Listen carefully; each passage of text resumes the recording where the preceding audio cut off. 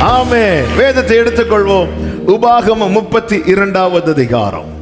உபாகமம் முப்பத்தி இரண்டாவது அதிகாரம். அதனுடைய நாற்பதாவது வசனத்தை வாசிக்க கேட்கலாம். உபாகமம் முப்பத்தி இரண்டு நாற்பது.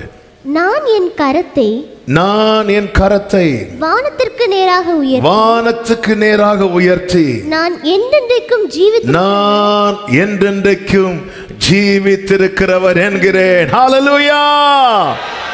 ஆமே இந்த நாளிலே பேசும்படி கடந்த நாளிலே ஆவியானவர் சிந்தையிலே கொண்டு வந்த கர்த்தருடைய வார்த்தை. ஆமேன்.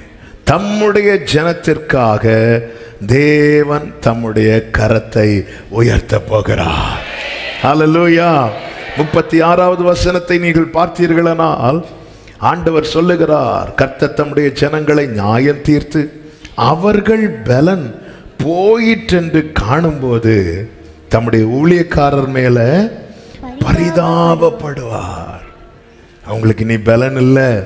அவங்களுக்கு நீ யாருமே இல்லை என்ற நிலையை பார்க்கும்போது அவர் பரிதாபப்பட்டு அதன் பிறகு நீங்கள் கீழே படிக்கும்போது அவர் தம்முடைய கையை உயர்த்துவார். சில மாதங்களுக்கு முன்பதாக ஒரு ஞாயிற்றுக்கிழமை ஆராதனையிலே பரிசுத்தாவியானவர் இந்த வார்த்தை கொண்டு பேச வைத்தார். அப்பொழுது சொன்ன ஒரு வார்த்தை ஆமை பொதுவாகவே இந்த கூட்டத்தில் ஆமை ஒரு பிள்ளை காணாமல் போச்சு கையில் கொண்டு வந்து கொடுக்கப்பட்டுச்சுன்னு வச்சுக்கோங்களேன். அவள் இவ்வளோ பேர் இருக்கிற இடத்துல அந்த பிள்ளைய பக்கத்தில் நிறுத்திட்டு இந்த பிள்ளை சார்பாக இங்கே யார் இருக்கிறா அப்படின்னு கேட்டால் யாரெல்லாம் கை தூக்குவாங்க? எல்லாரும் பார்த்துட்டு இருப்பாங்க அந்த பிள்ளையுடைய அப்பாவோ அம்மாவோ இந்த கூட்டத்தில் இருந்தா அவங்க என்ன செய்வாங்க? அந்த கூட்டத்தில் இருந்து நான் இருக்கிறேன். ஆமென். கையை உயர்த்துவாங்க. இந்த பகல் வேளையில் என்னை கேட்டுக்கொண்டிருக்கிற அன்பு சகோதரா சகோதரி உனக்கு ஒரு காரியம் நேரிடும் போது சூழ்ந்திருக்கிறவங்களால பார்க்க மட்டும்தான் முடியும். ஆமே ஆனா ஒருத்தர் உனக்காக கையை உயர்த்துவார் நான் இருக்கிறேன். நான் சாகவில்லை நான் ஜீவித்திருக்கிறேன். ஆமேன். சொல்லுங்க பார்க்கலாம். கத்தருடைய கரம். ஆமே கத்தருடைய கரத்தை குறித்து வேதத்தில் அநேகம் சொல்லப்பட்டிருக்கிறது. இந்த நாளிலே அவருடைய கரம் செய்கிற மூன்று காரியங்களை சொல்லி ஜெபிக்க விரும்புகிறேன். கத்தர் நம்மோடு கூட இடைபடுவாராக. முதலாவது அவருடைய கரம் பலத்த கரம் எல்லாரும் சொல்லுங்க பார்க்கலாம். பலத்த கரம் நூற்றி முப்பத்தி ஆறாவது சங்கீதம். அதனுடைய பனிரெண்டாவது வசனத்திலே இப்படி சொல்லப்பட்டிருக்கிறது. சங்கீதம் நூற்றி முப்பத்தி ஆறு பனிரெண்டு. பலத்த கையினாலும் பலத்த கையினாலும் ஓங்கிய புயத்தினாலும் ஓங்கிய புயத்தினாலும் அதை செய்தவரை துதி அவருடைய கரம் பலத்த கரம். பலத்த கரம்.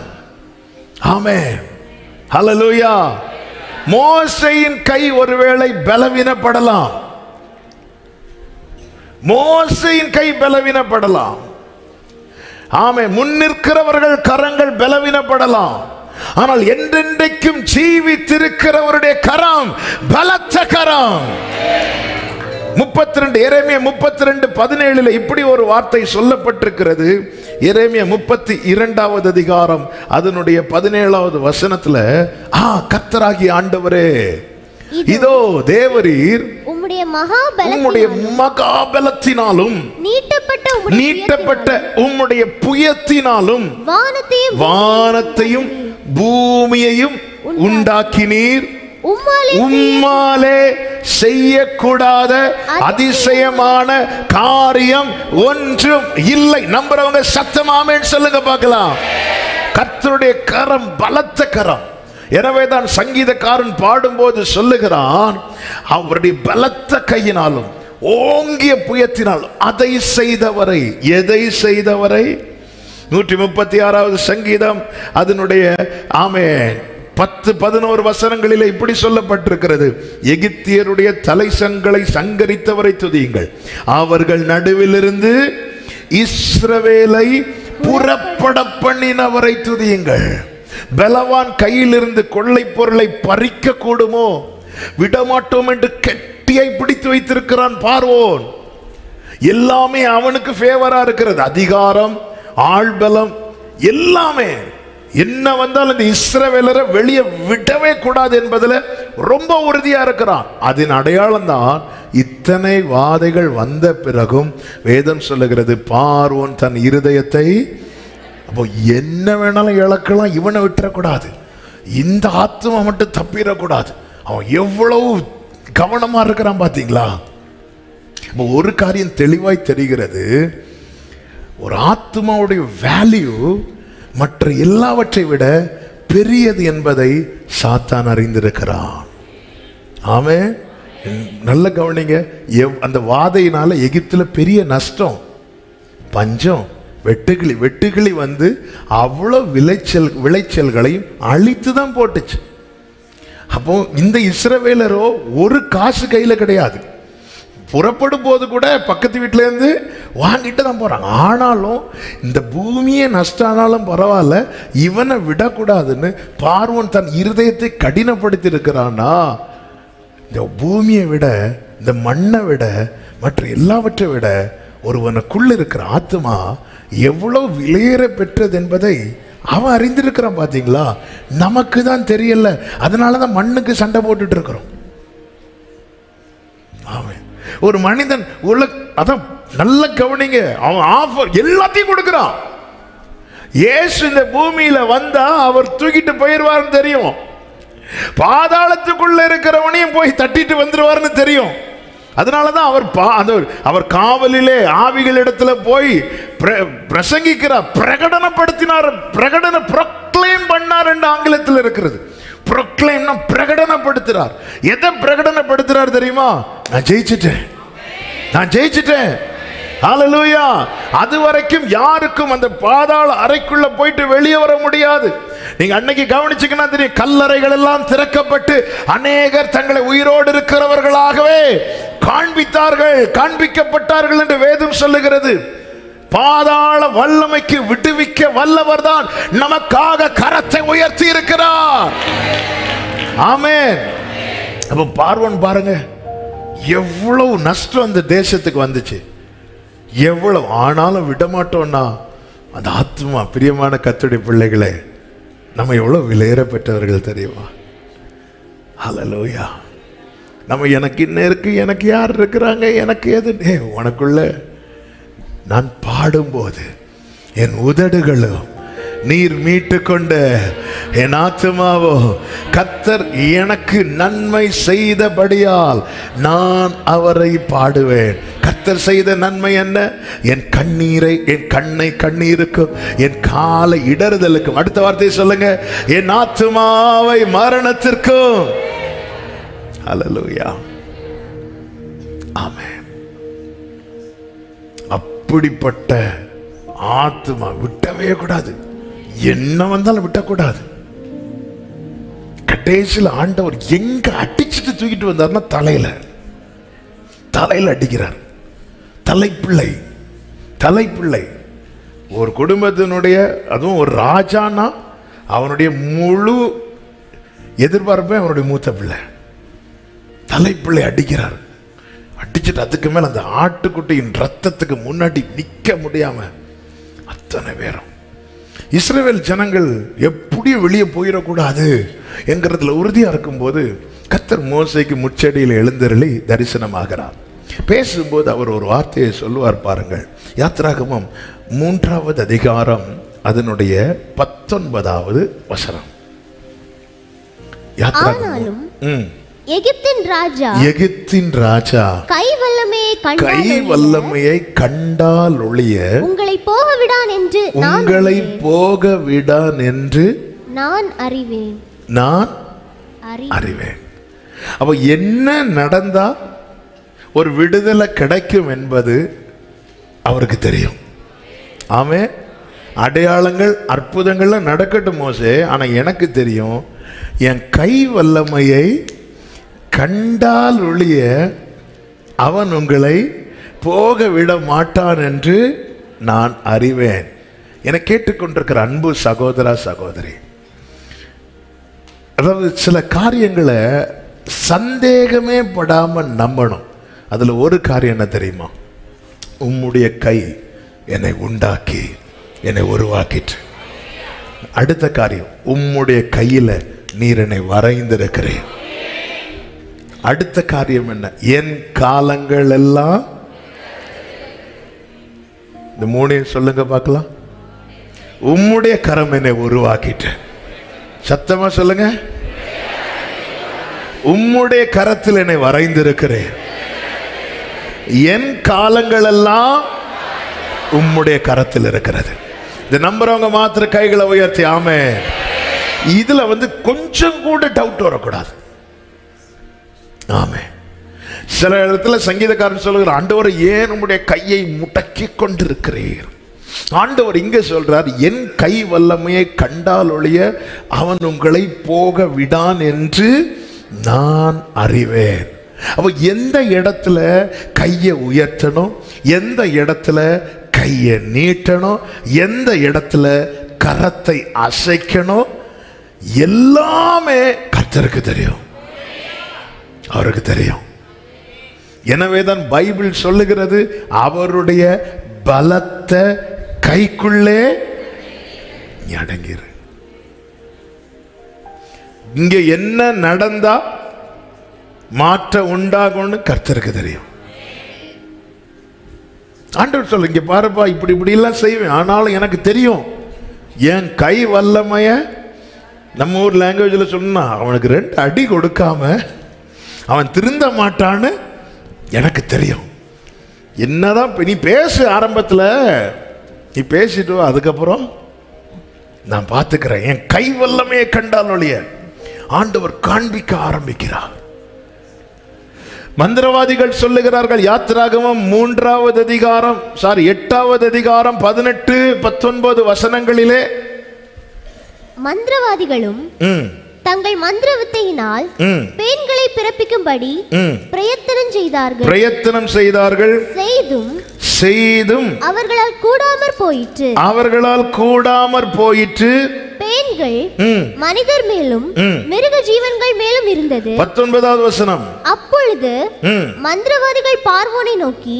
இது தேவனுடைய விரல் என்றார். இது தேவனுடைய விரல் என்றார்கள். நல்ல கவனமா இன்னும் கத்த முழு கையை காட்டல. ஒரே ஒரு ஒரே ஒரு விரல தான் காட்டுறார். ஆமென். ஹalleluya ஒரு விரல் தெரிய ஆரம்பிச்சதும் அங்கே நடந்தது என்ன அப்படின்னா எல்லா மந்திரங்களும் எல்லா எதிர் வல்லமைகளும் ஒண்ணுமே இல்லாமல் போயிற்று. யாக்கோவுக்கு விரோதமான மந்திரம் இல்லை இஸ்ரவேலுக்கு விரோதமான குறி சொல்லுதல் இல்லை. ஏன் யாக்கோவுக்கு விரோதமான மந்திரம் இல்லை? யாக்கோவின் வலது கரத்தை அவருடைய கரம் பிடித்திருக்கிறது.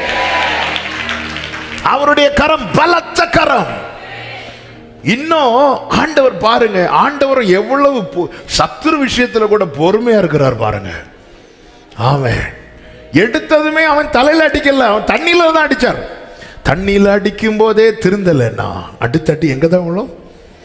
அவன் எடுத்ததுமே தண்ணீர்ல தான் அடிச்சார். அதுலயாவது இல்லை இப்ப பாருங்க ஆண்டவர் கையை காட்டல. ஆமேன். முதல்ல ஒரு விரலை காட்டுறார். விரலை காட்டுதுன்னு அந்நிய வல்லமைகள் எல்லாமே விரலை காட்டுறார். இன்னும் நீ திருந்தலைன்னா விரலை மடக்குவார். இப்படி மடக்கிறது எதுக்கு? ஆமே ஹalleluya. முதல்ல விரல காட்டினாரு. அதுலயே நீ திருந்தலையா? வா பார்த்துக்கலாம். ஹalleluya. உமக்கப்பானவர் யார்? வானத்திலோ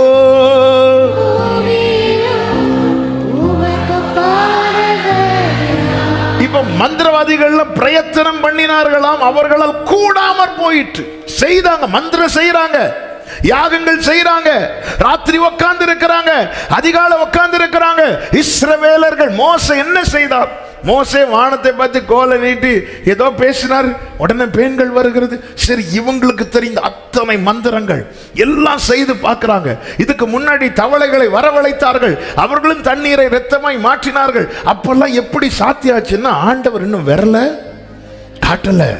சில நேரத்தில் சத்துருவின் கை உங்க வாழ்க்கையில ஓங்கினது மாதிரி இருக்குன்னா புரிஞ்சுக்கோங்க. சத்துருவின் கை பெருசுன்னு சொல்லிடாதீங்க. அவர் இன்னும் வரல காட்டல.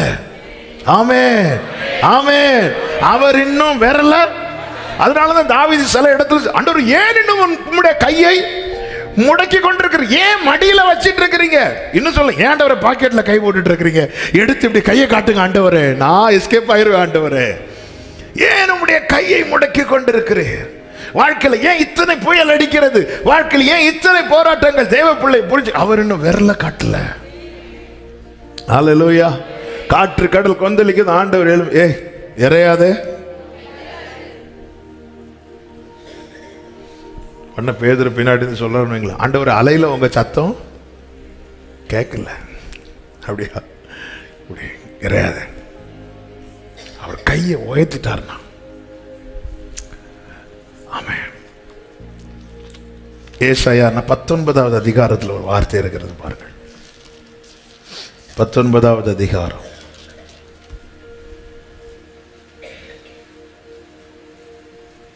பதினைந்து முதல் வாசியுங்கள்.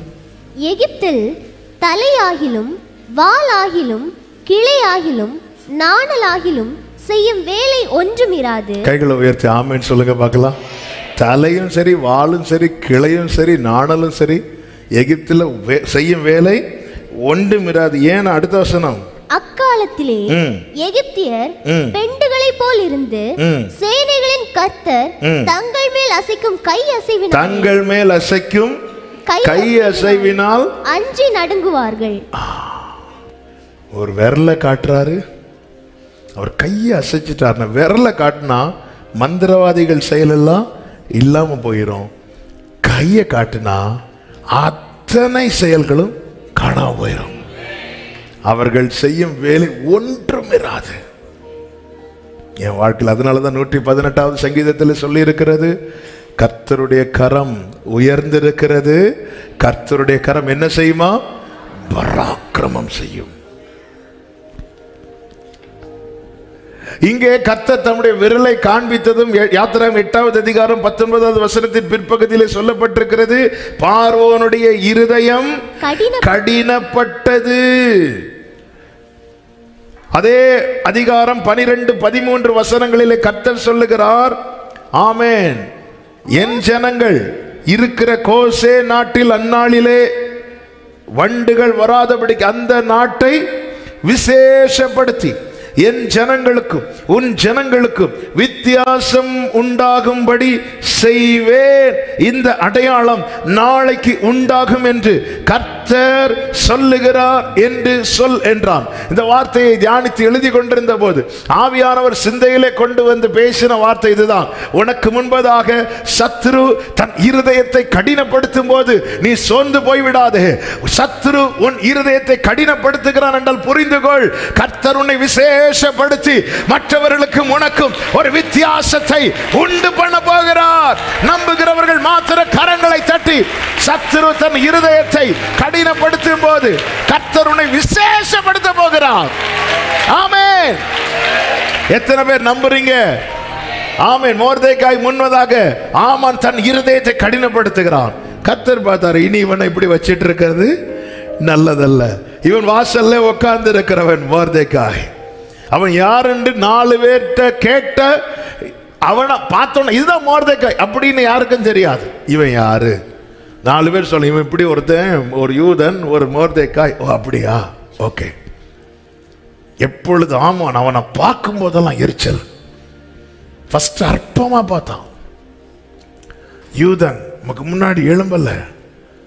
எல்லாமே ஆமானுக்கு ஃபேவராக இருந்தாலும் ராஜஸ்ரீ விருந்து வைக்கிறா. அந்த மகிழ்ச்சி கூட ஆமானால அனுபவிக்க முடியல. அவனுக்கு ஒரே குறிக்கோள் இந்த மோர்த்திக்காய் கதையை முடிக்கணும்.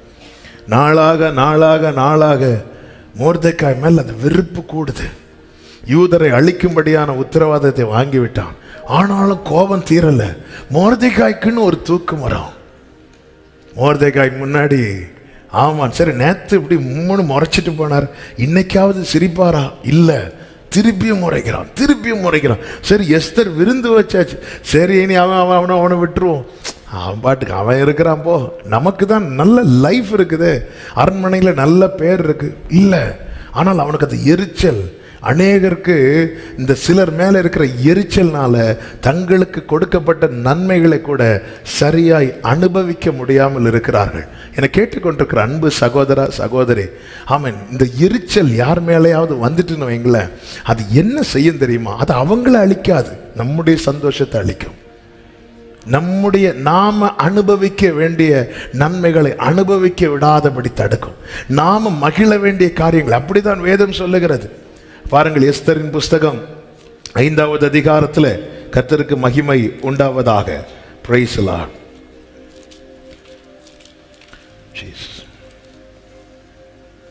ஐந்தாவது அதிகாரம் வீட்டில் போய் எல்லாத்தையும் விவரித்து சொல்லுகிறான். சொல்லிவிட்டு பதிமூணாவது வசனத்தில் என்ன சொல்றான் பாருங்க? ஆனாலும் ஆனாலும் அந்த யூதனாகிய மொத்தேகாய் ம், ராஜாவின் அரண்மனை வாசலிலே அவன் அந்த வாசல்ல உட்கார்ந்து இருக்கிறதை நான் காணும் அளவும். அவையெல்லாம் எனக்கு ஒன்றுமில்லை என்றான். எனக்கு ஒண்ணுமே கிடையாது. ஒன்பதாவது வசனத்தில் சொல்லப்பட்டிருக்கிறது அன்றைய தினம் ஆமான் சந்தோஷமும் மனமகிழ்ச்சி மனமகிழ்ச்சியுமாய் புறப்பட்டான். ஆனாலும் ராஜாவின் அரண்மனை வாசலில் இருக்கிற மோர்தேக்காய் தனக்கு முன் எழுந்திராமலும் அசையாமல் இருக்கிறதை ஆமான் கண்டபோது அவன் மோர்தேக்காயின் மேல் உக்கிரம். நிறைந்தவனானா ஆனாலும் அடக்கி கொண்டு வீட்டில் வரான். வீட்டில் வந்து கேட்குறாங்க ஆமா என்ன நடந்துச்சு? நடந்த எல்லாத்தையும் சொல்லிட்டு சொல்றான். ஆனாலும் அந்த மோர்தேக்காய் அந்த அரண்மனை வாசல்ல இருக்கிறதை நான் காணும் அளவும் அவையெல்லாம் எனக்கு அதாவது அவனுக்குள்ள இருந்த அந்த சந்தோஷத்தை மனமகிழ்ச்சி அவனால வீட்டில் அனுபவிக்க முடியல. ஏன்னா ஒருத்த மேல இருக்கிற எரிச்சல். இது செய்தி அல்ல ஆவியானவர் இந்த வார்த்தையை எடுத்து பேச வைக்கிறார். எத்தனை இடத்துல நாம் மகிழ்ச்சியா இருக்க வேண்டிய இடத்துல மகிழ முடியல. களி கூர்ந்து ஆராதிக்க வேண்டிய இடத்துல ஆராதிக்க முடியல. சந்தோஷத்தோடு குடும்பமாய் அனுபவிக்க வேண்டிய பல நன்மைகள் இருந்தும் நம்மால் அனுபவிக்க முடியாத காரணம் பலர் மேல் இருக்கிற எரிச்சல். இவன் எப்படி சர்ச்சுக்கு வரலாம்? இவன் எப்படி சர்ச்சுக்கு வரலாம்? இவன் எப்படி இந்த ஃபங்க்ஷனுக்கு வரலாம்? இவன் எப்படி இந்த ஃபங்க்ஷன் வரலாம்? சிலரை பார்த்தாலே எரிச்சல். இந்த எரிச்சல் இது ஆமானுடைய வேலை ஆமானுடைய ஆவி. இது தேவன் தருகிறதல்ல. ஹலலூயா ஹலலூயா இந்த எரிச்சல் தேவ பிள்ளைகளுக்கு வரக்கூடாது. இப்படி எரியிறான். உடனே தான் வீட்டில் இந்த ஆலோசனை போகுது. அவனுடைய மனைவி அவனை பார்த்து சொல்கிறா பதினாலாவது வசனத்தில் ஐம்பது முள்ள உயரமான ஒரு தூக்கு மரம் செய்யப்பட வேண்டும். அதிலே மொர்தேகாயை தூக்கி போடும்படி நாளைய தினம் நாளைய தினம் நீர் ராஜாவுக்கு சொல்ல வேண்டும். ஏற்கனவே இவன் எதிரா இருக்கிறான். இப்பொழுது இன்னும் மூர்க்கம் இன்னும் கோபம் எதற்காக இந்த வார்த்தையை சொல்லுகிறேன்? நீ கர்த்தரை நம்பி இருப்பது உண்மையானால் உனக்கு எதிராக எழும்புகிற கடினமான காரியம் மூர்க்கமான காரியம் அது உன்னை விசேஷப்படுத்துவதற்கு எதுவாய் மாறும்.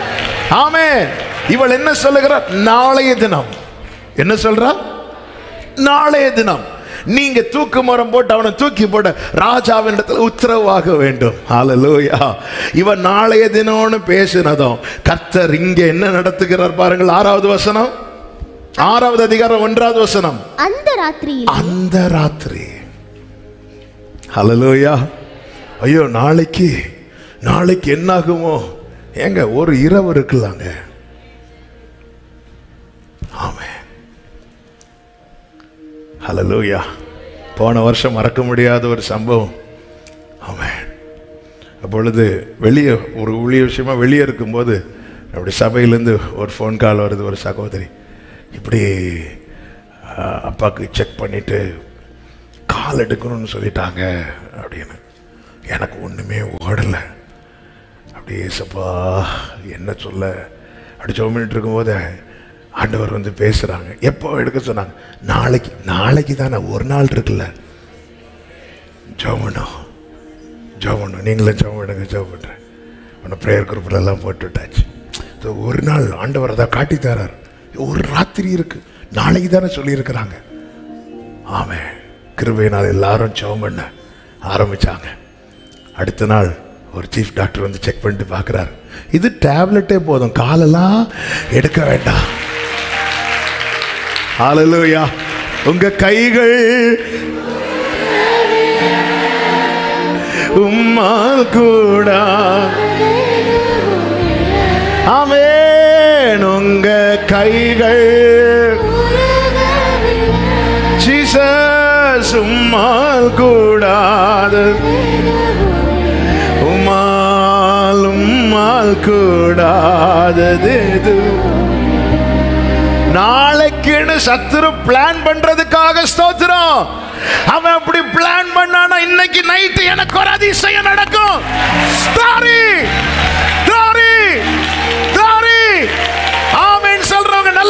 நல்ல கைகளை தட்டி ஹalleluya நாளைக்கு உன் கதையை இந்நேரத்தில் முடிப்பேன். இயேசுவேல் சொன்னதும் இன்னைக்கு எலியா தூதனை பார்க்கிறான். பரலோக போஜனத்தை உட்கொள்றான்.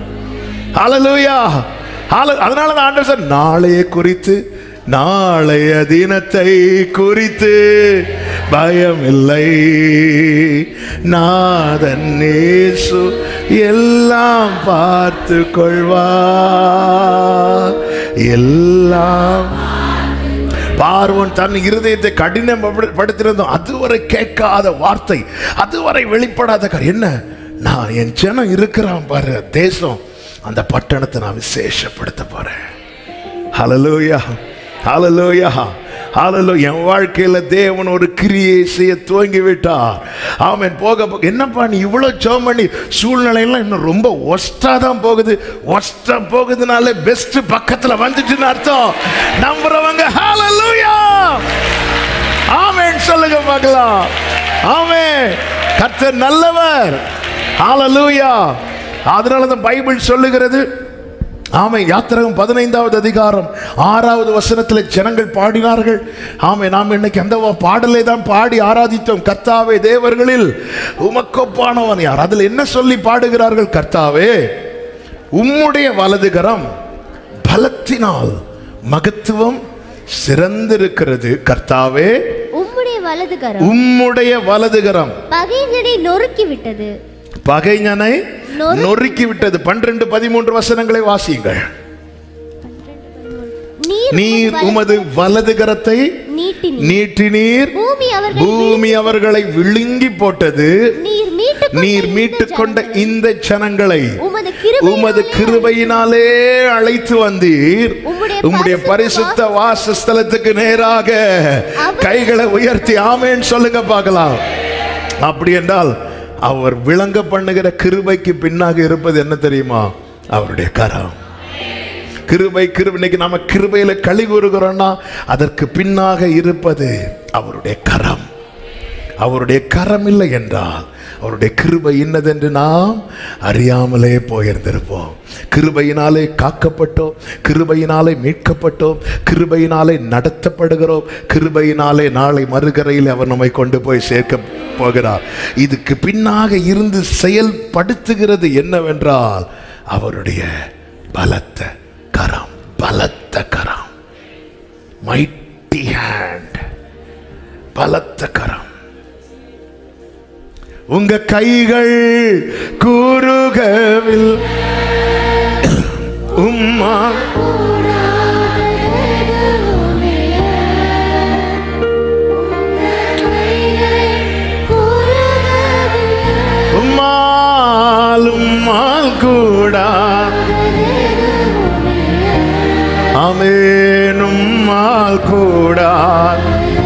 எனவேதான் வேதம் சொல்லுகிறது. ஒன்று பேதுரு ஐந்தாவது அதிகாரம் அதனுடைய ஆறாவது வசனம். ஒன்று பேதுரு ஐந்து ஆறு. நல்ல தெரிந்த வசனங்கள். ஆகையால் ஏற்ற காலத்தில் தேவன் உங்களை தேவன் உங்களை உயர்த்தும்படிக்கு அவருடைய பலத்த கைக்குள் அவருடைய பலத்த கர கைக்குள் அடங்கி எல்லாரும் சொல்லுங்க ஏற்ற காலம். சத்தமா சொல்லுங்க. அதாவது ஏன் சொல்ல வைக்கிறதுன்னா நம்முடைய விசுவாசத்தை நம்பிக்கை என்ன செய்யணும்? அறிக்கை செய்யணும். இப்படி சொல்ல வைக்கும்போது உடனே சொல்லிடணும். அந்த இடத்துல அதாவது நாலு பேர் சொல்கிறாங்களா அப்படி இல்லை. என்னுடைய ஆசை என்னுடைய விருப்பம்லாம் வசனத்தை கேட்குறவங்க சுதந்திரிக்கணும். நான் பத்து வருஷம் பதினஞ்சு வருஷம் இருபது வருஷமாக வசனம் கேட்டு என் வாழ்க்கையில் நான் ஒன்றுமே சுதந்திரிக்கலைன்னா எனக்குள்ள ஏதோ சம்திங் நம்ம வந்து சின்ன பிள்ளைங்களை பார்த்துருக்கு சின்ன பிள்ளைங்க நீங்கள் டுவெல்த்தில் படிக்கிறது உங்களுக்கு மறந்துருக்கும். ஆனால் சின்ன வயசில் படித்த ஆ ஆ இ, மறக்காது. ஏன் மறக்கலை? ஏன் மறக்கலை? நீங்கள் ஸ்கூலில் பார்த்தீங்கன்னா தெரியும் இந்த எல்கேஜி யூகேஜி கிளாஸில் மட்டும் சவுண்டு கேட்டுகிட்டே இருக்கும். எல்லாரும் சொல்ல ஏ ஏ சொல்லிகிட்டே இருப்பாங்க. ஆ ஆ ஆ ஆ சொல்லிகிட்டே இருப்பாங்க. அது மறக்காது.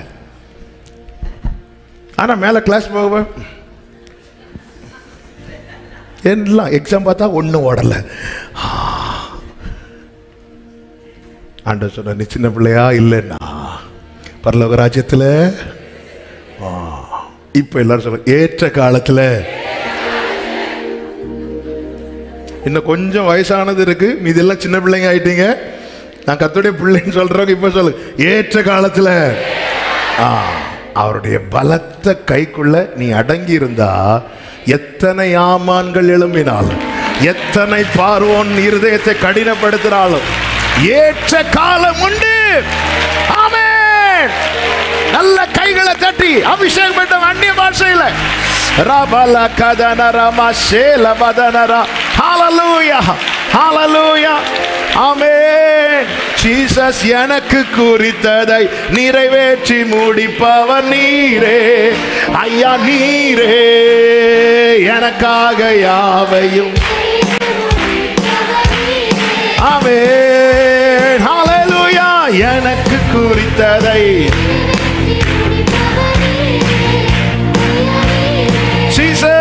எனக்காக யாவையும் அமே அப்பா உமக்கு ஸ்தோத்திரம்.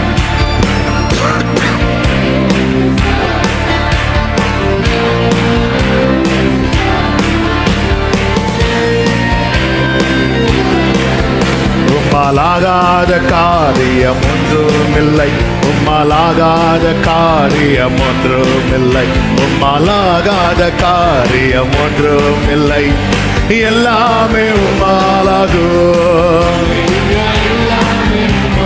ஆகும் ஆகும்.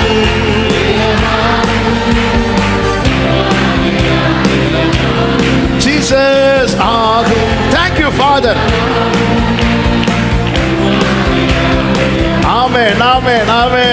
கர்த்தருடைய பலத்த கரம் எஸ்தர் ஆறு ஒன்றிலே சொல்லப்பட்டிருக்கிறது அந்த ராத்திரியிலே ராஜாவுக்கு நித்திரை வராததினால் சத்ரு உனக்கு நாளை என்று குறிக்கும் போது அந்த இரவில் கத்தரால சும்மா இருக்க முடியாது. நித்திரை வராததினால் கால வர்த்தமானங்கள் எழுதியிருக்கிற நடபடி புஸ்தகத்தை கொண்டு வர சொன்னான். வேதம் சொல்லுகிறது. அது ராஜ சமூக ராஜ சமூகத்தில் கைகளை உயர்த்தி ஆமேன்னு சொல்லுங்க பார்க்கலாம். ஆமே ஐயோ நாளைக்கு மேனேஜர் என்ன வந்து பார்க்க சொல்லி இருக்கிறாங்க ஏற்கனவே அவருக்கு என்ன? பிடிக்காது. ஐயோ நாளைக்கு இவங்க ஏற்கனவே அவங்களுக்கு என்ன? பிடிக்காது. ஹalleluya ஆமே சத்துரு ஒரு நாளை குறிச்சான்னு தான் புரிஞ்சுக்கோங்க ஏற்ற காலம் வந்து விட்டது. அவன் இஸ்ரவேலருக்கு தெரியல ஏற்ற காலம் வந்தது. வாக்குத்தத்தம் நிறைவேறு காலம் சமீபமாய் வந்தது இஸ்ரவேலருக்கு தெரியல.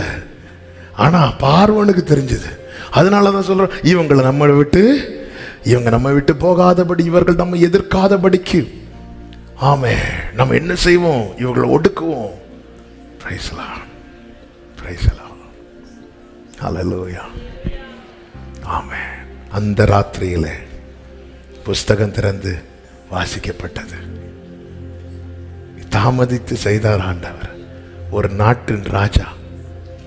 ராஜாக்களுடைய இருதயெல்லாம் கர்த்தருடைய கையில் இருக்கிறதா? அவர் தம்முடைய இஷ்டப்படி என்ன செய்கிறாரா? திருப்புறாரா. ஆமே ஹலலூயா ஒரு நாள் என்பது கர்த்தருக்கு கிரி ஐயோ ஒரு நாள் தான் இருக்கு. ஒரு நாள் தான் நமக்கு. ஐயோ எக்ஸாமுக்கு இன்னும் மூணு நாள் தான் இருக்குது. எப்படியும் கடைசி நாள் தான் படிக்க போகிறேன் ஆனாலும் எக்ஸாமுக்கு இன்னும் ஒரு மாதந்தான் இருக்குது. நமக்கு அதெல்லாம் பெருசாக இருக்கலாம். ஆண்டவருக்கு ஒரு நாள் இருக்கு. ஒரு நாள் இருக்கா? கொஞ்ச நேரம் கூட தூங்கிட்டு. அவன் ஒரு நாள் இருக்கா? ஆமாம் எத்தனை பேர் நம்புறீங்க? ஹலலுயா ஹலலுயன் தேவன் எனக்காக. எனக்காக யாவையும் நம்புறவங்க கைகளை உயர்த்தி செய்து சத்தமா எனக்காக செய்து முடிப்பவரே சொல்லுங்க என் பாரங்கள் என்பா. என் என் பாரங்கள்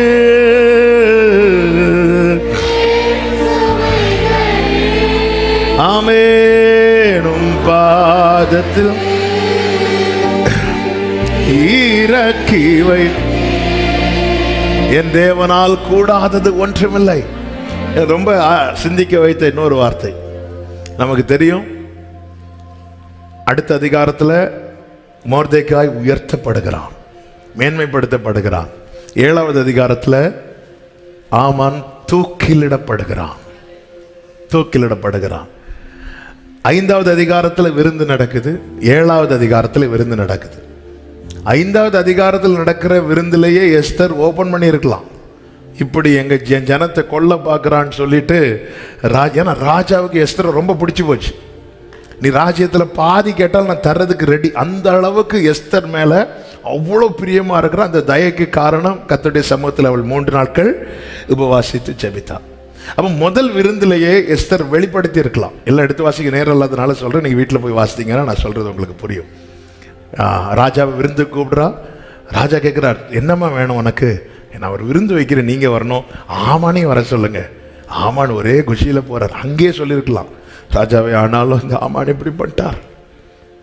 ஆ, அப்படியா? உடனே அந்த இடத்துல ஆமானை கொண்டு இருக்கலாம் ஆனால் அங்கே ஆமானுக்கு இன்னொரு விருந்து தான் சொல்லப்பட்டதே தவிர வேறு எந்த இவ்வளவு எஸ்தர் இருக்கா ராஜா இருக்கிறா உள்ளே போன ஆமான் பாடியாக வெளியே வருவான்னு பார்த்தா அவன் குதிரையில் ஜாலியாக தானே வரான் மோர்த்தைக்காய் நினச்சிருப்பார். என்ன ஆண்டவரே இது? இன்னையோட இந்த ஆமானுக்கு பிரச்சனை முடியும்னு பார்த்தா அவன் இன்னும் இன்னொரு விருந்தா எதுக்கு? புரியல. இப்போ இந்த ஐந்தாவது அதிகாரத்தில் விருந்து விருந்து வைக்கப்படுகிறது. அந்த விருந்திலே ஆமான் கதை முடிந்திருக்க வேண்டியது. இல்லை ஏழாவது அதிகாரம். இந்த ஐந்துக்கும் ஏழுக்கும் நடுவில் தான் இந்த ஆறாவது அதிகாரம். இந்த ஆறாவது அதிகாரத்தில் அப்படி என்ன நடக்குது? ஏழாவது அதிகாரத்திலே ஆமானுக்கு கதை முடியுது. மோர்தேக்காய்க்கு ஆயத்தம் பண்ணின தூக்கு மரத்திலேயே அதே மரத்தில் ஆமான் தூக்கில் இடப்படுகிறான். அப்படி இருக்க ஏன் ஆண்டவரை இவ்வளோ டிலே ஆன்சர் ஒன்று தான் மோர்தேகாய நான் உனக்கு செய்கிறத அவன் பார்க்கணும். அவன் பார்க்கணும். உனக்கு யாருமே இல்லைன்னு நினச்சிட்டாங்க. நான் இருக்கிறேன்.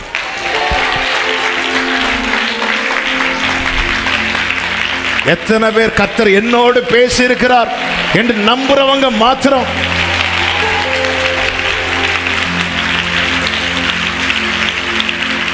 நம்புறவங்க மாத்திர தேவனை மகிமைப்படுத்துங்க.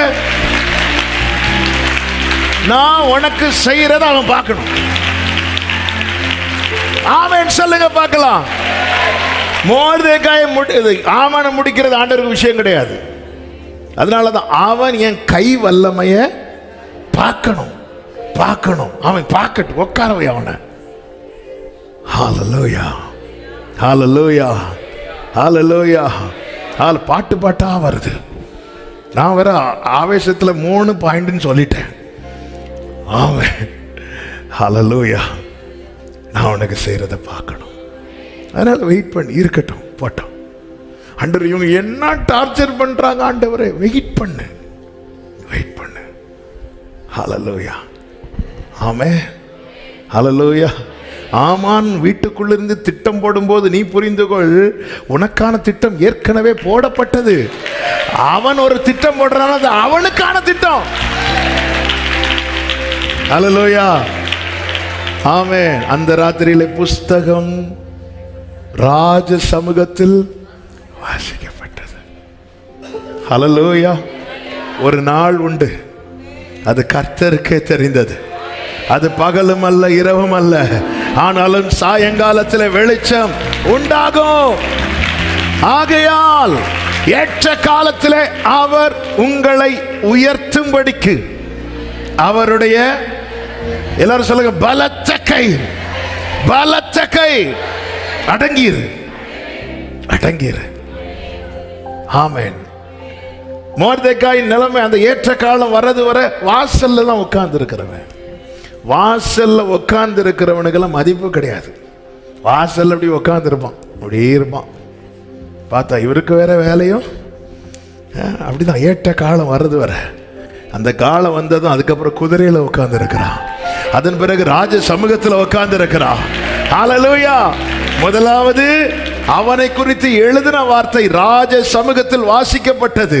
அதன் பிறகு அவனுடைய வாழ்க்கையே ராஜ சமூகத்திலே காணப்பட்டது. என கேட்டுக்கொண்டிருக்கிற அன்பு சகோதரா சகோதரி நம்முடைய காலங்களையும் நம்முடைய வாழ்க்கையும் கத்த தம்முடைய கையில வரைந்திருக்கிறார். ஏற்ற காலம் இன்னைக்கு நீ இருப்பது வனாந்தரமா இருக்கலாம் அல்லது ஏதோ ஒரு வாசல்லையா இருக்கலாம் அல்லது அக்கினியிலா இருக்கலாம் முட்களின் நடுவிலா இருக்கலாம். ஆனால் ஒரு நாள் உண்டு.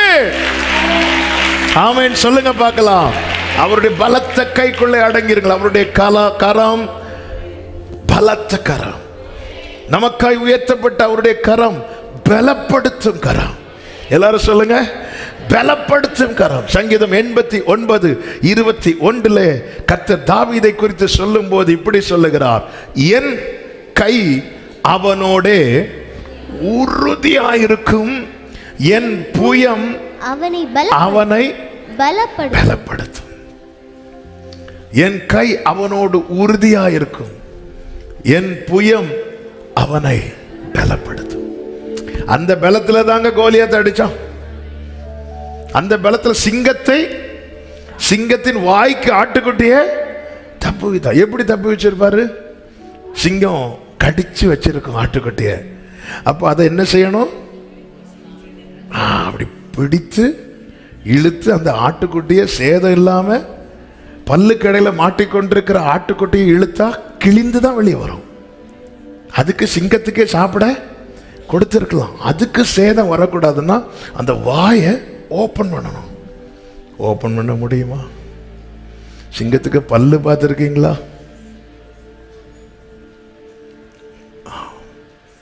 சிங்கத்துக்கு பல்லு பார்த்துருக்கீங்களா? அந்த பிடியிலெல்லாம் மாட்டினா ஓப்பன் பண்ண முடியுமா? இந்த கையால் முடியுமா? ஆமே. இருக்கிற பலம் கூட போகும். இன்னும் வேலை முடியலையா? கையெல்லாம் பாருங்க பிரதர் நம்ம தான் பாடுவோம். என்ன? சிங்கத்தின் மேலும் நடந்து எங்க நடக்குது காண்டு அவன் எந்த கையை வச்சு? எந்த கையால? இதெல்லாம் பிராக்டிக்கலா சாத்தியமாங்க. இவனுக்கு யுத்தம்னா என்னன்னு தெரியும். யுத்தத்துக்கான Dress கூட போட தெரியாது தாவிதுக்கு. ஆமென். ஆனால் இப்பொழுது சிங்கத்துக்கு முன்னாடி கொண்டு போய் விட்டிருக்கிறான். அனுமதித்தது கர்த்தரானால். அதை மேற்கொள்ளுகிற பலனை கத்துத்தர என எனக்கு ரொம்ப ஆச்சரியமான காரியம் பிரதர் பெஞ்சமின் தாஸ் அவங்க நேத்து ஃபோன் பண்ணுறாங்க எங்கிருந்து கிளம்புற இடத்துல ஃபோன் ஆ அண்ணே ப்ரைஸில் அண்ணே. எங் அங்கே எப்படிண்ணே வரணும்? அது சொன்னேன் ஃபில் ஹாஸ்பிட்டல் பெண்டி ஹாஸ்பிட்டல் ஓகே பென்சாம் ஹாஸ்பிட்டல் பக்கம். ஓகே அதில் சிசி வச்சிருக்கு உள்ள ஒரு ரோடு ஓகேண்ணே ஓகேண்ணே வச்சுட்டாங்க. எனக்கு இவங்க எப்படி? ஆமாம் மற்றவங்கள்ட்டெல்லாம் ஒரு நூறு தடவை சொன்னாலும் ஆமே அடுத்த தெருவில் போய் நின்றுட்டு இங்கே இப்படி ஒரு சர்ச்சு இப்படி ஒரு சர்ச்சே இங்கே இல்லையாமே. நம்மளே யோசிக்க வைப்பாங்க. ஒருவேளை எடுத்துக்கொள்ளப்பட்டவங்க ஆனால் இவங்கள்ட்ட இவங்க ஒன்று இவங்களுக்கு தெரியும் அவங்கள பார்த்துருக்கீங்க. ஒன்றும் எழுதவும் இல்லை ஒன்று யார் ஓகேண்ணே ஒரே ஒரு வாட்டி தான் சொன்னேன். பத்து பத்து பத்துக்குள்ள வந்து நிற்கிறாங்க ஒரு பாதையில் கர்த்தர் நடத்த விட்டா என் ஜனங்கள் ஒருபோதும்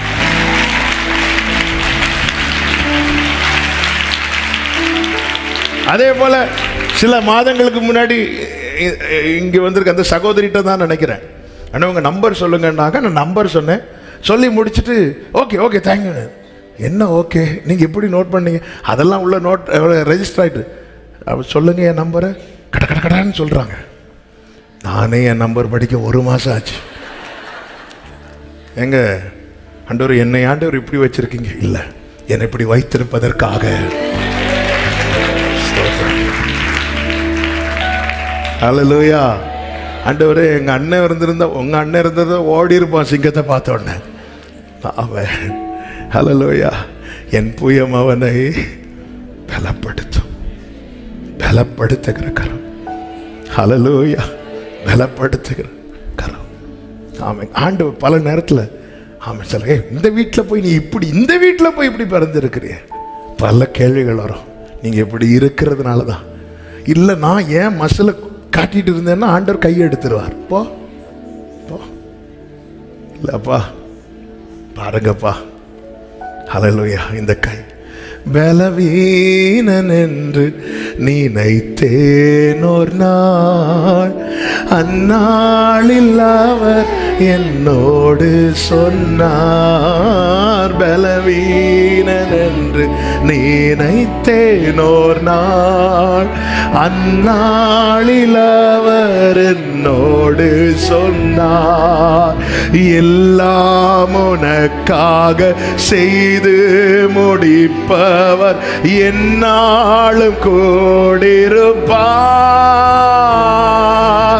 எல்லாம் உனக்காக செய்து முடிப்பவர் என்னாலும் கூடிருப்பார் ஹலலூயா எலியாவுக்கு ரதம் கிடையாது ஆகாபுக்கு ரதம் இருந்துச்சு. அந்த இல்லாய்மைக்காக எலியா ஸ்தோத்திரம் சொல்லியிருப்பார். ஏன்னா ரதம் இருந்திருந்தா அவனும் ரதத்தில் போயிருப்பான். ரதம் இல்லாததுனால கர்த்தருடைய கை எலியாவின் மேல இருந்துச்சு. வேதம் சொல்லுகிறது ரதத்துக்கு முன்னாக ஓடி நான் இதை தியானிச்சிட்டு இருக்கும்போது எப்படி ஓடி இருப்பான் ஆண்டவரை? அப்போ ஆண்டவர் எனக்கு ஒரு காரியத்தை உணர்த்தினாங்க. டாய் பைக்கு கார்லாம் பார்த்துருக்கீங்களா? அது எந்த வேகத்தில் ஓடும்? அது எந்த வேகத்தில்? ஏன்னா அவங்க யூஸ் பண்ணது கிடையாது. டாய் பைக்கு கார்லாம் எந்த வேகத்தில் ஓடும் தெரியுமா? அதை யூஸ் பண்ணுறவங்க கையுடைய வேகத்தில் ஓடும். நான் சொல்கிறது எத்தனை பேருக்கு? விளங்குதுன்னு தெரில ஒரு சின்ன பிள்ளைகிட்ட கொடுத்தா அது இப்படி இப்படி தான் இது ஒரு பெரிய ஒருத்தங்க அப்படி பின்னாடி இழுத்து விட்டாங்கன்னா அப்படி. அது அது வந்து அந்த அந்த அந்த டாயோடைய அந்த டாய் பைக் அதோடைய வேகத்தில் இல்லை. அதை யூஸ் பண்ணுற கையுடைய வேகத்தில் தான் நான் அவருடைய கரத்தில் இருக்கிறேன்.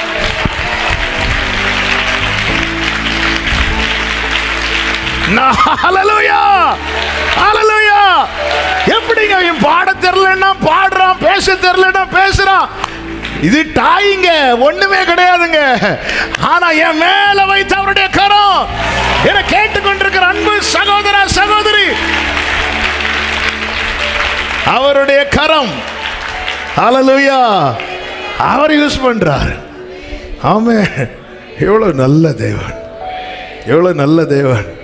கர்த்தருடைய கை எலியாவின் மேல் இருந்ததுனால் அவன் ஆகாவின் ரதத்துக்கு முன்ன இதெல்லாம் நினைத்து பார்த்திருப்பாடா எலியா. ஆமே ஆண்டவர் எனக்கு மட்டும் ரதம் இருந்திருந்தா ரதம் இருந்திருந்தா உனக்கு முன்னாடி வேற ஒருத்தன் ஓடி இருப்பான். ஆமே ரதம் இருந்திருந்தா இந்த நீ இருக்கிற இடத்துல வேற யாரோ வந்து இருந்திருப்பாங்க.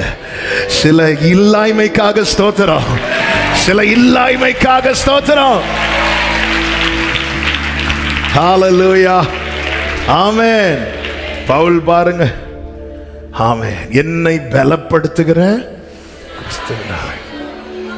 கலலோயா பவுலுடைய சரீரத்தின் பலவீனம் பவுல் சொல்றாரு ரெண்டு குழந்தையர் பதினொன்றாவது அதிகாரம் இருபத்தி மூணு முதல் பார்த்தீங்கன்னா தெரியும் அதிகமாய் அடிக்கப்பட்டேன். நிறைய காவல்கள் மரண அவஸ்தை நாற்பது அடியாக ஒன்றும் குறைய நாற்பது அடியாக ஐந்து முறை அடிக்கப்பட்டேன். கல்லறி உண்டேன் மூன்று தடவை கப்பர் சேதம். அந்நிய ஜனத்தினால் மட்டுமல்ல சொந்த ஜனமும் எனக்கு மோசம் பண்ணாங்க. பசி பட்டினி தாகம் நிர்வாணம் குளிர். இவைகளின் நடுவில் பவுல் சொல்லுகிறார் என்னை பலப்படுத்துகிற கிறிஸ்து வா இந்த சுச்சுவேஷனில் இருக்கிறவனையும் பலப்படுத்த முடியுமா? எவரையும் மேன்மைப்படுத்தவோ பலப்படுத்தவோ தேவனுடைய கரத்தினாலே ஆகும். இந்த பவுலை கொண்டு கத்தர் பதினான்கு நிருபங்களை எழுதினார். இன்னைக்கு நாம் படித்து பலப்பட்டு கொண்டிருக்கிறோம். பதினான்குக்கும் அதிகமான சபைகள் ஸ்தாபிக்கப்பட்டது. பத்தாயிரம் மைல்களுக்கும் அதிகமாய் அதிகம் அடிக்கப்பட்டவன் காவலில் இடப்பட்டவன் கப்பர் சேத வியாதி பசி பட்டினி தாகம் என அவ்வளவு பிரச்சனை சந்தித்தவன் பத்தாயிரம் மைல்களுக்கும் அதிகமாய் பயணித்து இருக்கிறார் என்றார்.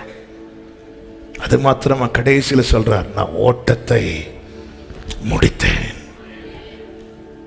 இவ்வளவு இருந்தும் என் ஓட்டத்தை எதுவுமே ஸ்டாப் பண்ணவும் இல்லை. தடுக்கவும் இல்லை ஏனென்றால் நான் ஓடலை என் மேலே ஒரு கரம் இருந்து என்னை ஓட வச்சிருக்கேன் அவன் அவ்வளோதான் ஆண்டவரே. உங்கள் வண்டி எப்படிங்க ஓடுது? அவர் ஓட்டுறாரு ஓடுது. சில நேரத்தில் அவர் இப்படி கையில் தான் எடுத்து வச்சிருப்பார் ஓட்ட மாட்டார். சில நேரத்தில் அவ்வளோதான் ஹலலூயா ஆமே நம்முடைய வேகமோ நம்முடைய விவேகமோ அல்ல.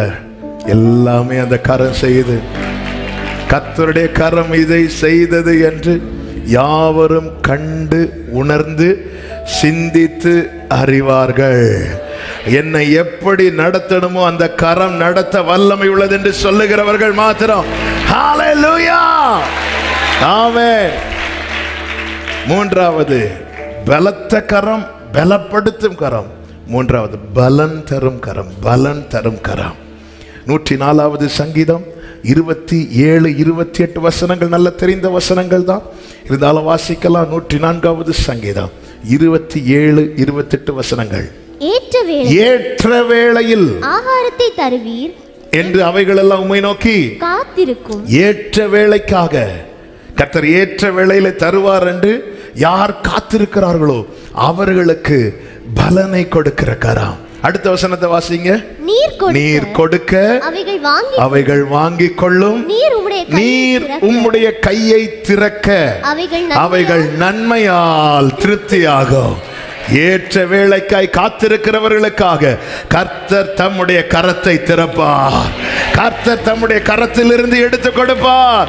அவர்களை வெட்கப்பட்டு போக விட மாட்டார் ஒரு வசனத்தை கூட வாசித்து செபிக்கலாம். ஏசாயா நாற்பத்தி ஒன்பதாவது அதிகாரம். அதனுடைய இருபத்தி இரண்டு இருபத்தி மூன்று வசனங்கள். இதோ ஜாதிகளுக்கு நேராக என் கரத்தை- உயர்த்தி. ஜனங்களுக்கு நேராக என் கொடியை ஏற்றுவேன் என்று சொல்லிவிட்டு கடைசி இருபத்தி மூணு கடைசியில கர்த்தர் என்ன சொல்லுகிறார்? நான் கர்த்தர் எனக்கு காத்திருக்கிறவர்கள் வெட்கப்படுவதில்லை என்பதை நான் கரத்தை உயர்த்துகிற அந்த நாளிலே நல்ல கைகளை தட்டி ஆமேன்னு சொல்லுங்க பார்க்கலாம். என கேட்டுக்கொண்டிருக்கிற அன்பு சகோதரா சகோதரி நீ கர்த்தருக்கு காத்திருப்பது உண்மையானால் ஏற்ற வேலைக்காய் காத்திருப்பது உண்மையானால் அவன் உன்னை வெட்கப்பட்டு போக கர்த்தர் கையை முடக்கி கொண்டிருக்க மாட்டார். உன்னை சாட்சி சொல்ல வைக்க அவர் தம்முடைய கரத்தை உயர்த்துவார். ஆமா அவர் உங்களுக்கு செய்வார்னு எப்படி நம்புறீங்க? நம்பிக்கை ஒண்ணே ஒண்ணுதான். ஜீவிக்கிறார். இயேசு ஜீவி அவ்வளவுதான். ஆண்டவர் கையை வைத்து சொல்ற ஏய் நான் சாகல. இன்னும் ஓவரா என் பிள்ளைய அடிச்சிட்டு இருக்கிற? அவர்களுக்கு யாரும் இல்லைன்னு நினைச்சியா? அவர் பரிதாபப்படுகிறவர். கரத்தை உயர்த்தி நான் ஜீவித்திருக்கிறவர். பலத்த கரம் பலப்படுத்த கரம். காத்திருக்கிற அவரை நம்பி என் அப்பா வாக்கு தந்திருக்கிறார். ஏற்ற வேலையில் ஆண்டவர் சொல்கிறார் கையை உயர்த்துவேன். அப்பொழுது அறிந்து கொள்வா எப்பொழுது? நான் கையை உயர்த்துவேன் பாரு. எப்பொழுது காத்திருக்கிற அன்பு சகோதர சகோதரி அந்த நாள் வரப்போகிறது. அப்போ நீங்கள் உடனே என்ன தெரியுமா நினைக்கணும்? அப்பா கையை உயர்த்திட்டாரு. எனக்காக எனக்காக எனக்காக. எத்தனை பேர் நம்புறீங்க? ஆமேன்னு சொல்லுங்க பார்க்கலாம். உங்க கைகள் கூறுகவில்லை. உம்மால் கூடா. அப்படி எழுந்து நிற்கலாமா தேவ சமூகத்தில்? ஜீசஸ் உங்க கைகள் ஆமே உம்மால் கூடாதது எதுவும் இல்லை. உம்மால் கூடாதது எதுவும் உம்மால் கூடாத ஆமென் ஆமென் ஆமென் ஆமென். நான் கத்தர். அதுக்கு மேல உள்ள வசனங்கள்ல தான் ஆண்டவர் சொல்ல சீயோன் சொல்றா கத்தர் என்னை மறந்தார். என்னை கைவிட்டார். இல்லம்மா ஏற்ற காலம் நான் வரல. பல முறை சொன்ன வார்த்தை ஒரு விஷயம் கூட சொல்லுகிறேன்.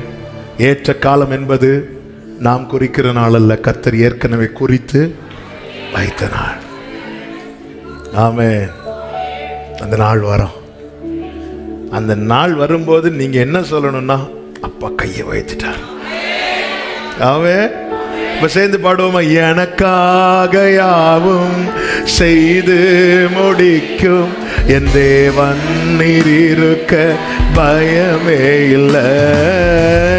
எல்லாவற்றையோ நிரப்பும் நீர் இருக்க எனக்காக யாவோம் எனக்காக யாவோம் என் தேவன் நீர் இருக்க பயமே இல்லை. எல்லாவற்றையோ நிரப்பும் நீர் எல்லாரும் இப்ப கைகளை உயர்த்தி ஒரே சத்தமாய் உங்க கைகள் குறுகவில்லை.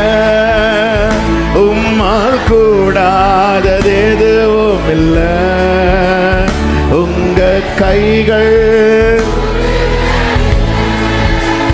உம்மால் கூடாதது எதுவும் இல்லை உம்மால் கூடாதது இல்லை உம்மால் கூடாது எத்தனை பேர் சொல்லுவீங்க? அனுமதித்ததெல்லாம் நன்மைக்காக. அனுமதித்ததெல்லாம் நன்மைக்காக. நடத்திடும் பாதைகளும். ஆமென். அனுமதித்ததெல்லாம் நடத்திடும் பாதைகளோ?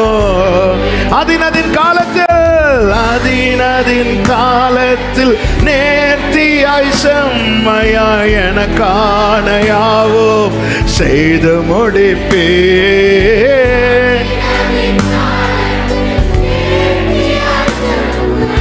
எனக்கானையா நம்புறவங்க கைகளை உயர்த்தி பாடுவோம். உங்க கைகள் ரீபலமா சந்தனரா உம்மால் கூடாதது எதுவும் இல்ல. உங்க கைகள் லோரே உம்மால் கூடாதது எதுவும் இல்ல. உம்மால் கூடாதது எதுவும் இல்ல. உம்மால் கூடா அப்படியே உங்க வலது கரத்தை உயர்த்தி. உங்க இடது கரத்தை இருதயத்தில் வச்சு. ஆண்டோட்ட ஒன்னே ஒன்று சொல்லுங்க உங்க கை எனக்கானதை செய்து முடிக்க நான் நம்புறேன். அந்த ஏற்ற காலத்துக்காக நான் அடங்கி இருக்க எனக்கு கிருப தாங்கப்பா. நான் கையை விட்டுட்டு போயிடக்கூடாது. யாரோ உனக்கு செய்யறேன்னு சொன்னதை நான் போயிடக்கூடாது. என் அப்பா உயிரோடு இருக்கிறா. உயிரோடு இருக்கிறா. நான் அடங்கி இருக்க எனக்கு கிருப தாங்க. நான் எதுல சோர்ந்து போறேன்? எதில் தளர்ந்து போகிறேன் எல்லாம் உங்களுக்கு தெரியும். சர்ச்சில் வந்து வார்த்தை கேட்கும்போது எனக்கு இருக்கிற நம்பிக்கை. சில காரியத்தை பார்க்கும்போது காணாமல் போகிறதும் உங்களுக்கு தெரியும். விட்டுறாதீங்கப்பா. விட்டுறாதீங்கப்பா. எனக்கு தெரியும்பா நீங்க எனக்காக கையை உயர்த்துவீங்கப்பா. அன்னைக்கு எல்லாரும் சொல்ல போறாங்க இவன் காத்திருந்தது வீணாகல. ஆண்டவர் சொல்லுகிற நான் கர்த்தர். எனக்கு காத்திருக்கிறவர்கள். வெட்கப்பட்டு போவது இல்லை என்பதை அப்பொழுது அறிந்து கொள்வாய். நாமே உங்க கைகள் கூறுக உம்மால் கூ உங்க கைகள் இயேசப்பா உம்மால் கூடாது. உம்மால் கூடாது. ஓ உம்மால் கூட. ஒரு ரெண்டு நிமிஷம் ஜோம் பண்ணுவீங்களா? ஒரு ரெண்டு நிமிஷம் ஜோம் பண்ணுவீங்களா? எந்த ஒரு காரியமானாலும் ஆண்டவர்கிட்ட வச்சுட்டு சொல்ல முடியுமா? நீங்க கையை உயர்த்திட்டீங்கன்னா சால்வ் ஆயிரும் நீங்க கையை உயர்த்திட்டீங்கன்னா சால்வ் ஆயிரும் நீங்க கையை அசைச்சிட்டீங்கன்னா எல்லா எதிரான காரியங்கள் ஒண்ணுமே இல்லாம போயிடும். ஜெபம் பண்ணுங்க.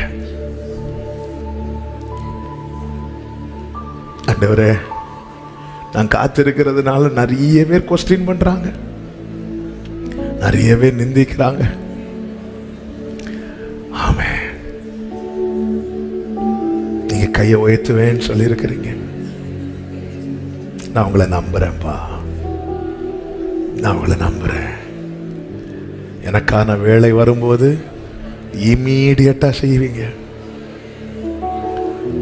இமீடியட்டா அதனாலதான் ஆண்டவர் சொல்லுகிறார் நீ தாமதித்தாலும் காத்திரு விட்டுறாத. இத்தனை வருஷம் வெயிட் பண்ணிட்ட விட்டுறாத. அப்புறம் தொண்ணூத்தொம்பது வயசுல வந்து என்ன சொன்னார் பாத்தீங்களா ஏ எனக்கு முன்னாடி நடந்து உத்தமனாரு வந்துட்டு பக்கத்துல வந்தாச்சு. இனி விட்டுரு போயிடாத. நான் கர்த்தர். எனக்கு காத்திருக்கிறவர்கள் வெட்கப்பட்டு போவது இல்லை என்பது அப்பொழுது அறிந்து கொள்வார். எப்பொழுது ஆண்டவர் என் கையை நான் உயர்த்துறேன் பாரு உனக்காக. ஆமேன். நம்புவே.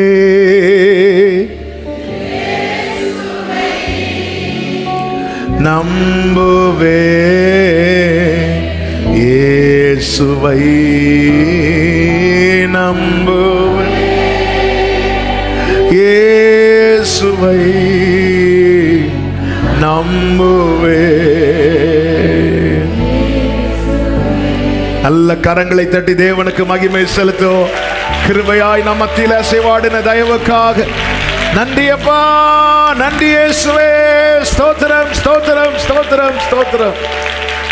பரிசுத்த பிதாவே நல்ல தகப்பனே நன்றி நிறைந்த இருதயத்தோடுமே நாங்கள் துதிக்கிறோம் ஸ்தோத்தரிக்கிறோம் வாழ்த்துகிறோம் மகிமைப்படுத்துகிறோம்.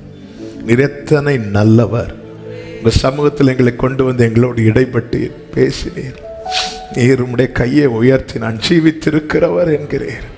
நான் இருக்கிறேன்னு சொல்றீங்கப்பா. ஆண்டவரே இந்த நம்பிக்கை எங்களுக்குள்ளே தந்த தயவுக்காக நன்றி. உம்முடைய கரம் பலத்த கரம். சத்ருவை நொறுக்குகிற கரம். உம்முடையவர்களை பலப்படுத்தும் கரம். உமக்கு காத்திருக்கிறவர்களுக்கு பலனை கொடுக்கிற கரம். உம்முடைய தயவுள்ள கரங்களுக்காக ஸ்தோத்திரம். எங்களுக்கு பாராட்டுகிற அத்தனை கிருபைகளுக்கு பின்னாக இருப்பது உம்முடைய கரத்தின் கிரியை என்பதை ஆண்டவரை இந்த நாளிலே ஒன்று கூட எங்களை உணர்த்தி பலப்படுத்தின. உம்முடைய தயவுக்காக ஸ்தோத்திரம்.